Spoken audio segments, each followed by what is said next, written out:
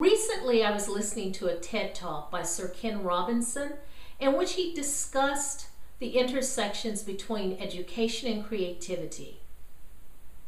In his talk, he identified three elements that he felt characterized human intelligence and creativity. It is diverse, it is dynamic, and it is distinct. And these three Ds seem to be a pretty good place to start in talking about Black Studies, a vision for Black Studies. My approach is rooted in thinking about Black Studies in the 22nd century because I believe that program development begins with a vision of the future and then works backwards to see what foundation is necessary to achieve that goal. Black Studies in the future should embrace the three Ds. It should be diverse in its formulation, it should be dynamic in its execution, and it should be distinct in its sustainability. By diverse, I mean a Black Studies program that builds upon its history as the truth teller in the American Academy. But it must also extend its repertoire with new approaches, new topics, new theories, new research methods, and ideas. The wall hanging behind me is a great example of the kind of diversity of which I speak. It's called SciArt, and it tells a story of human genetics and human origins out of Africa through the medium of art. Could we imagine a SciArt Black Studies project?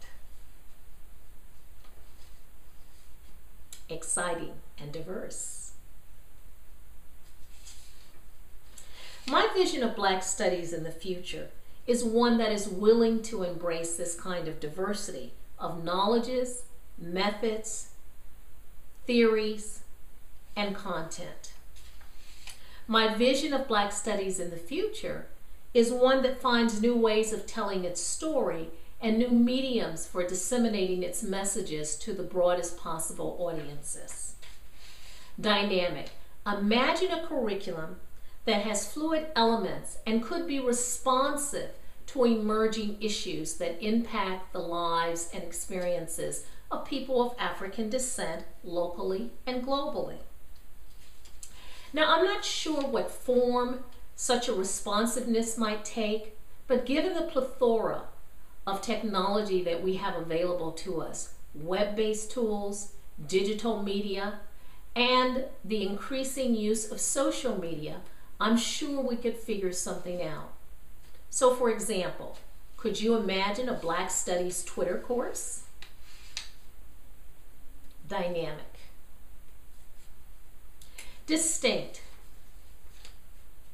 If Einstein's definition of insanity is true, keep doing the same thing and expecting different results, then colleges and universities are probably some of the largest insane asylums. A distinct Black Studies program can't keep doing the same thing. A distinct Black Studies program must be entrepreneurial. Its curriculum should be rooted in the development of new knowledges, new theories, and new content. And how these can be applied to real life social issues and the analysis of social problems and social policies that impact the lives of people of African descent, no matter where they are in the world. A distinct Black Studies program must reclaim its activist roots, which are consistent with the stated mission of public universities to contribute to the public good. So an example might be having service learning components in Black Studies core curriculum. And this applied aspect in no way conflicts with the idea of a robust scholarly program and a faculty contributing to new theory building and the development of knowledge production.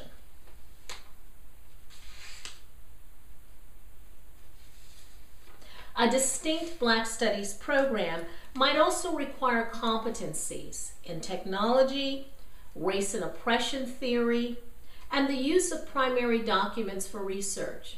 After all, the Schomburg is your neighbor. Finally, a distinct Black Studies program would be remiss if it did not incorporate a global lens, given the interconnectedness in the experiences and the exposure to oppression that is consistent among people of African descent wherever they are in the world.